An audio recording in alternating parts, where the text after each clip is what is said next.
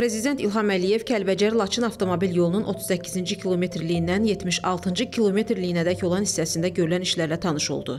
Avtomobil Yolları Dövlət Agentliyinin İdarə Heyətinin sədri Salih Məmmədov dövlətimizin başçısına aparılan işlər barədə məlumat verdi.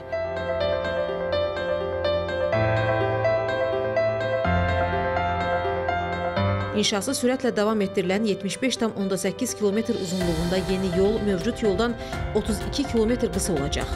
Birinci və ikinci texniki dərəcəli bu yol 2 zolaqlı və 4 zolaqlı olmaqla inşa edilir.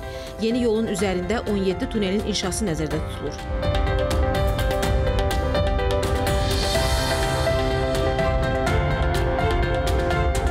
Tunellərin ümumi uzunluğu 13,3 kilometrdir. Bundan başqa yol üzərində ümumi uzunluğu 4163 metr olan 23 körpü də inşa edilir. Dövlətimizin başçısına yol üzərində inşa olunacaq T9 tuneli barədə də məlumat verildi. Qeyd edildi ki, tunelin uzunluğu 224 metrdir. İki zolaqlı tunelin eni 10,6 metrdir.